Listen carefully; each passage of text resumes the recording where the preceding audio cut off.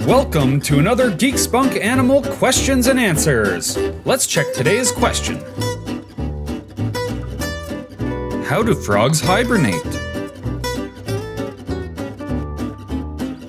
Frogs are capable of surviving in a wide range of climates and environments thanks to their various survival strategies. Some species use hibernation to cope with cold winter temperatures in temperate regions. During hibernation, the frog's metabolism slows down and it relies on its stored energy to sleep through the winter in a protected space called the hibernaculum. When spring arrives, the frog wakes up and leaves its hibernaculum to reproduce and find food. Other species use a similar survival strategy called estivation to cope with hot, dry conditions. During estivation, the frog enters a state of torpor, in which it slows down its metabolism and becomes inactive in order to conserve energy and survive in harsh conditions. Some aquatic frog species, such as the leopard frog or the American bullfrog, hibernate underwater during the winter. Contrary to popular belief, these frogs do not bury themselves in the mud at the bottom of a pond or stream to hibernate.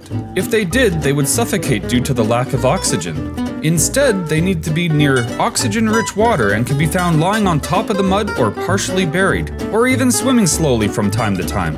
Other animals like aquatic turtles are able to bury themselves in the mud at the bottom of a pond or stream during hibernation. This is because their metabolism slows down so much that they can survive on a small amount of oxygen available in the mud. Frogs are unfortunately unable to do this. Terrestrial frogs, such as the American toad and wood frogs, typically hibernate on land during the winter.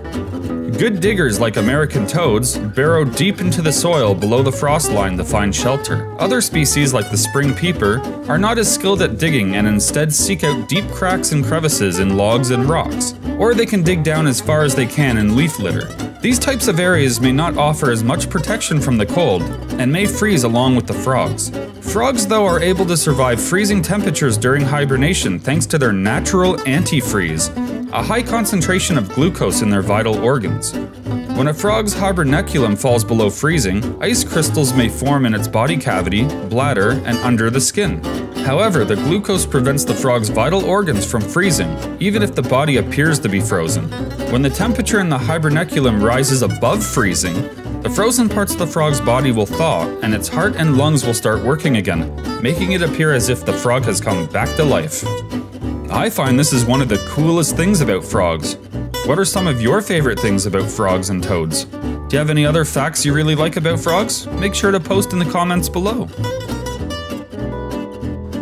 Thanks a lot for watching my videos. Make sure to boop that like button, comment, and subscribe. Maybe you'll like one of these two videos on your screen. Stay tuned for the next episode. We'll see you next time.